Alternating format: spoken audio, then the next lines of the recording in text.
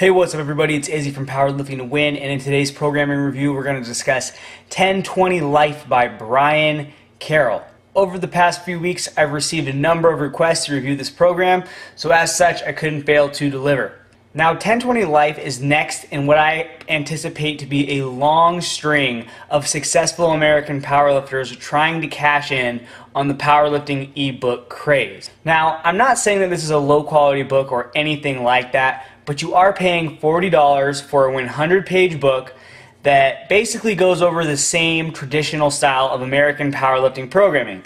That is one time per week frequency, extremely low volume, frequent deloads, and a heavy emphasis on assistance. Needless to say, I wasn't entirely thrilled with my purchase of 1020 Life, but to be fair, I never had any intention of running this program, so I was clearly a bit biased. Now, this program does separate itself from other typical American programs such as 531, the Cube Method, the Lilliebridge Method, and others because it does incorporate RPE or the auto regulation of weight selection. And there is an extensive discussion in the book of movement selection. So, how to pick assistance exercises based on where you're weak versus just giving you a list of assistance exercises that everyone should perform. So, if you're interested in how to incorporate autoregulation into these typical American style powerlifting programs, or if you're the kind of person who enjoys discussions about weak points and how to address those weak points, then this could be a really interesting read for you. So, let's go ahead and take a deeper look at 1020 Life. 1020 Life has a great pedigree as a powerlifting program. For those of you who are unfamiliar with Brian Carroll, he's a former world record holder in multiply powerlifting. He squatted 1185 at 275 and to this day he has top 10 totals in three weight classes 220, 242, and 275. Now, 1020 Life isn't a program that was just optimized on one lifter. Brian Carroll has been coaching powerlifters for years now, so the program has been optimized on dozens and dozens of lifters. This is a powerlifting program made by a powerlifter, tested by real powerlifters. So again, the pedigree is definitely there with this program. Now, I'm sure a bunch of you were hoping that I was going to lay out the program in its entirety, but I don't think that's ethical. So what I'm going to do is explain the basic tenets of the program and then give you a sample of what some of the weeks look like. Now, first let me explain what the term 1020 life means. Brian Carroll's programming is broken up into 20 week periods where you culminate with a meet. Now, the first 10 weeks are a off season, and then the next 10 weeks are the preseason or the pre-contest weeks. So you've got 10 week blocks off season and pre-contest that add up to 20 weeks, and then you're going to be doing that for the rest of your life. Hence 10-20 life. Now I'm going to go ahead and show you some samples of the program, but before I do that, it is worth noting that even though, even though it isn't shown in the following charts, there is a fourth day on this program that is sort of a pump and fluff upper body day bodybuilding style training session. It's not supposed to take you more than 30 minutes or so, and you're really just going in there to get in some extra bodybuilding volume for your upper body. Now, here's a sneak peek at the off-season programming from Brian Carroll's 1020 Life. As you can see, you're going to be deloading every third week on this program.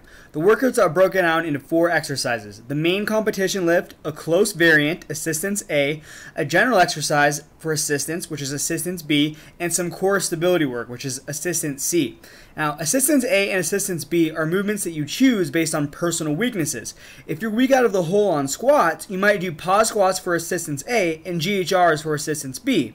If you have a weak bench lockout, you might do board work for assistance A and dips for assistance B. You get the picture. Carroll provides an extensive list of movements to choose from for different weaknesses in the book. The main movements are performed for volume, but you're working up to a single top set using RPE as your guide.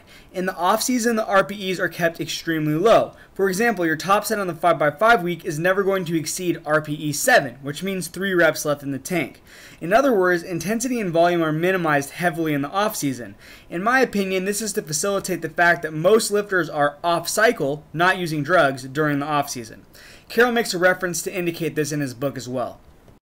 Now, let's take a look at a sneak peek from the pre-contest programming period during 1020 Life.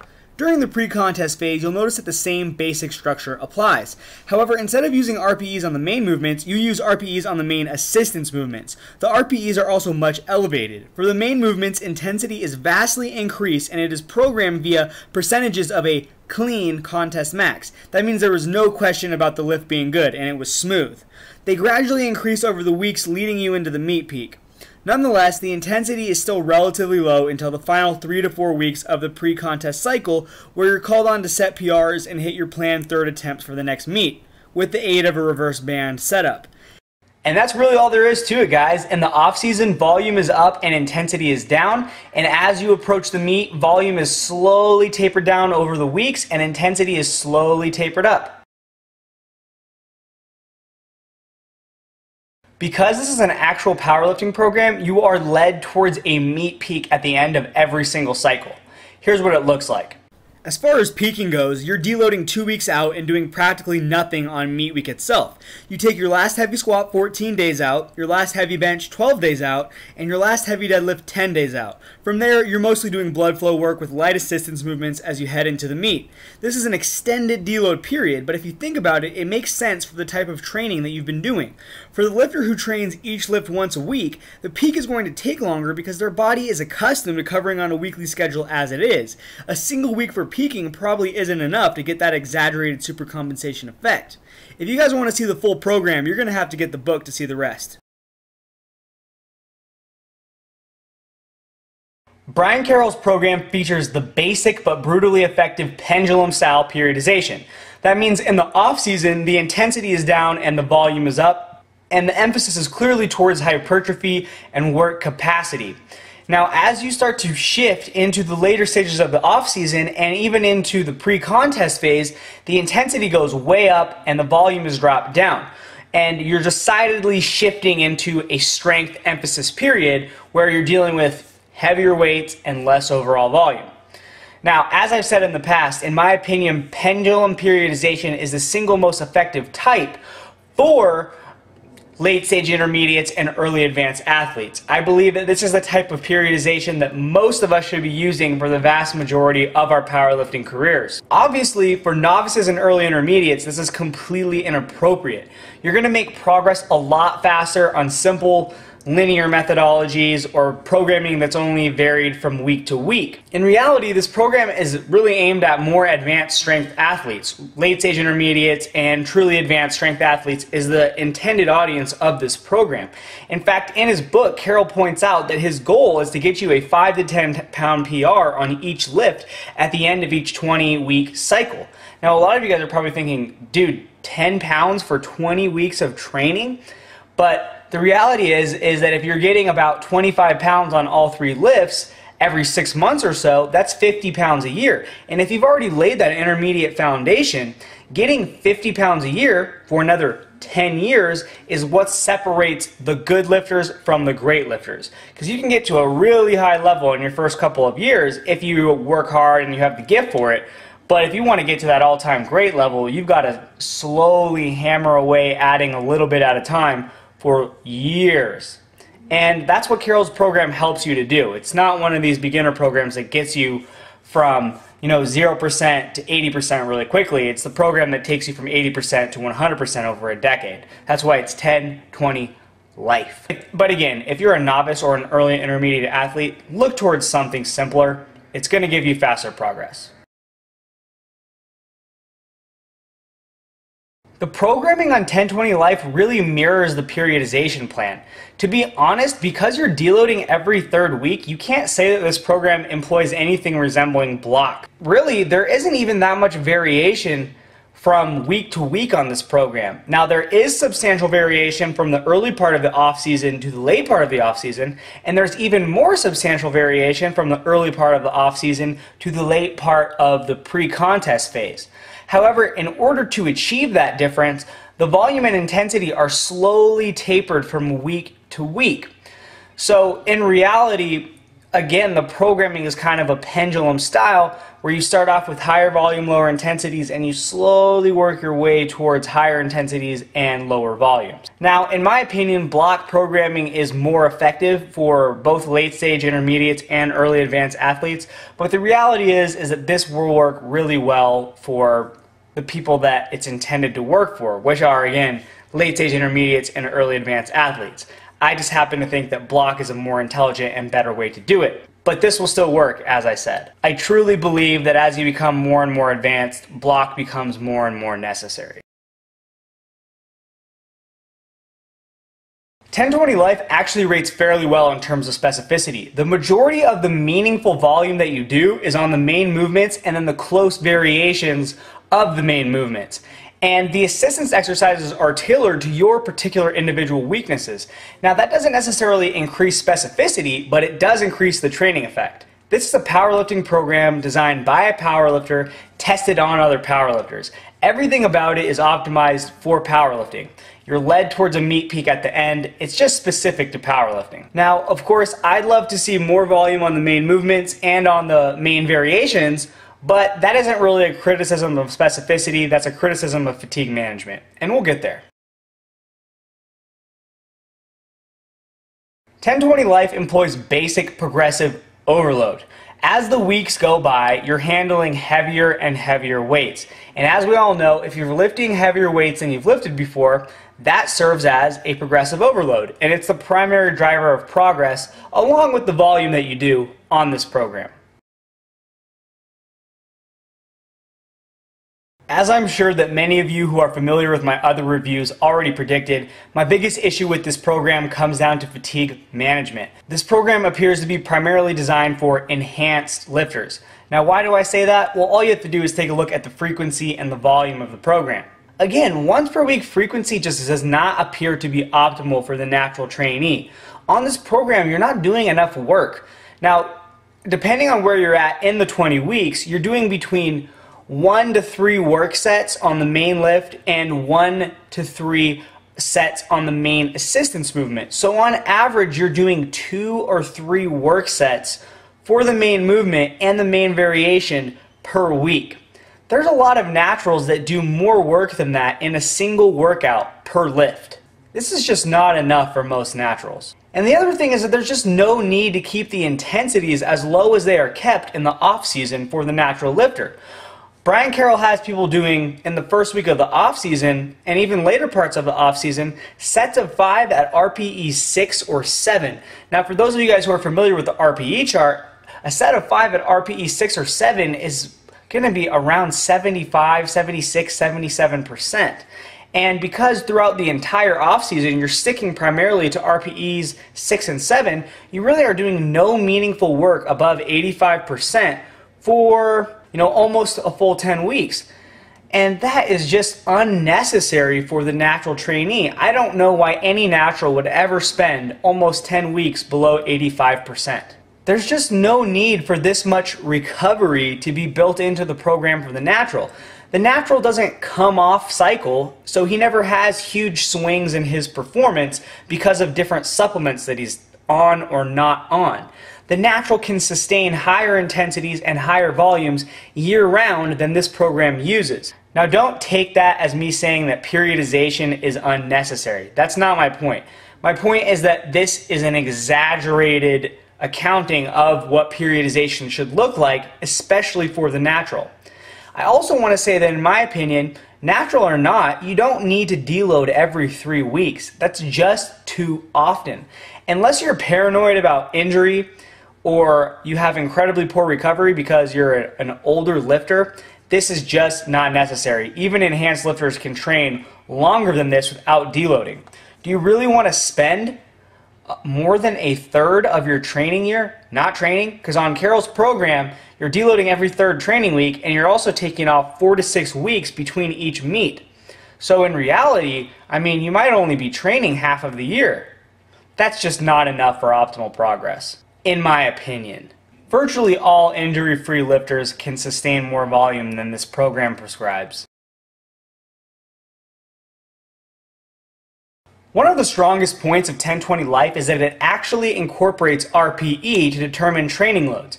As we all know, auto-regulation of training loads is great because it allows you to work in the intended intensity range each day. Just for example, let's say your program calls for 75%, but you're having a horrible day. Well, 75% of your best day might be 90% that day. So you're working in a way higher intensity range than you're supposed to, and you might dig yourself an even deeper recovery hole. Now, just the opposite can be true on a good day. If your program calls for 75%, but you're just way stronger than when you started the training cycle and you're having your best day ever, that 75% might be 60% of what you're capable of that day. And at that point, you're not really working in powerlifting intensity ranges anymore. By using RPEs, we can make sure that we're in the correct intensity range for that day. Now, one of the other strongest aspects of 1020 Life in terms of individual differences is that Brian Carroll actually takes the time to discuss movement selection, to determine your individual weaknesses in your force curve for each lift. If you're weak at the bottom, he has suggestions for you. If you're weak in the middle, he has different suggestions for you. And if you're weak at the top, there's even yet more suggestions for you to improve those weaknesses. Now, this accounting of individual differences in terms of weaknesses really enhances the training effect. And it's one of the primary benefits that you can get from working with a powerlifting coach. Anybody can copy a program off of the internet, but until a coach sees your actual lifts and sees where you get slow and where you fail, your programming is not optimal because the assistance movements and the secondary movements that you're doing are not specific to your weaknesses. And if they were, you'd make better gains. If you'd like help with determining what assistance exercises are best for you, shoot me an email at admin at powerliftingtowin.com. Now, all this said, even though 1020 Life is pretty strong in terms of individual differences, it still falls a little short because it fails to auto-regulate volume. And in fact, this is the single biggest failing of the entire program. We've already mentioned that in my opinion, this program is not enough volume.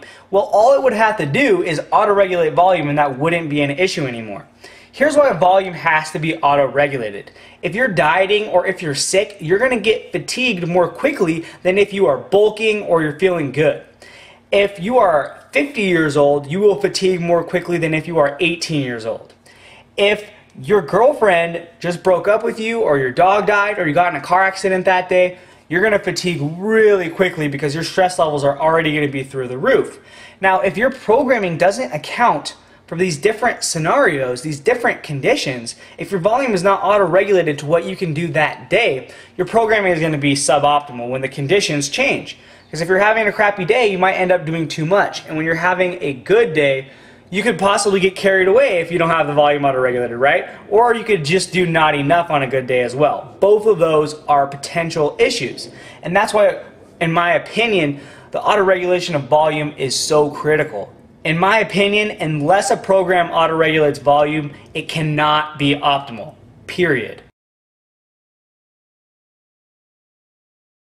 Of all the cookie cutter style American programs that I've seen, I think Brian Carroll's is my favorite thus far. Now, while I am not a fan of deloading every third week, to say the least, the bottom line is that these lower frequency, lower volume programs with frequent deloads have proven to be quite effective for enhanced lifters. And I also have to say that I really, really, really hope that Carroll's use of RPE catches on in the mainstream powerlifting community and that a lot of these program writers start incorporating auto-regulation into their programs as well. I hope Carol started a trend here. That said, for natural lifters, I just can't recommend these American style powerlifting programs with once per week frequency and minimal volume. It's not even a criticism necessarily against Carroll's programming, it's more of a criticism against the status quo of American style powerlifting programming. Naturals, in my opinion and in my experience, and by just studying the top IPF lifters, do much, much better with higher volumes and higher frequencies. And it makes sense. The more work you put in, the better you're going to get at something. Furthermore, this program, in my opinion, is really oriented more towards advanced lifters. If you just look at the way that it's structured in terms of the 20 week cycles and the intention to get you 25 pounds or so on your total every 20 weeks, well, that's just not a good match for the people who buy ebooks for the most part. Now, I, am aware that Carroll was writing this for advanced lifters, but the bottom line is that mostly novices and intermediates buy ebooks. And for these lifters, this program is just unnecessarily complex and too slow in terms of the progress. So overall, if you're a natural lifter or a novice or intermediate of any kind, I'd recommend that you look elsewhere. If you are an enhanced lifter who has been doing this for a long time, I'm highly confident that this program will produce good results for you. So the requests have flooded in, and the next program, it's more of a book that I'm going to take a look at, is Jamie Lewis's Destroy the Opposition. Now, I've read this in the past, and Jamie Lewis has one of the most unique takes on lifting, I think that's fair to say, out there. So it's going to be very interesting and entertaining to review Lewis's work, and I really think that we're all going to learn a lot from it because, again, it is very unique. So if you're a fan of Jamie Lewis, be on the lookout for that review. If you guys found this content interesting, informative, or entertaining, please like, share, and send it out into the interwebs for me. If you have any questions or comments, feel free to pop on over to the Powerlifting to Win forums and I will address any issues that you have personally. If you're interested in personalized custom coaching, including how to correctly pick assistance movements, shoot me an email at admin at powerliftingtowin.com and we can talk more about the Powerlifting to Win coaching services. Subscribe if you haven't already. And don't forget to check out powerliftingtowin.com for more great powerlifting information. Have a nice day.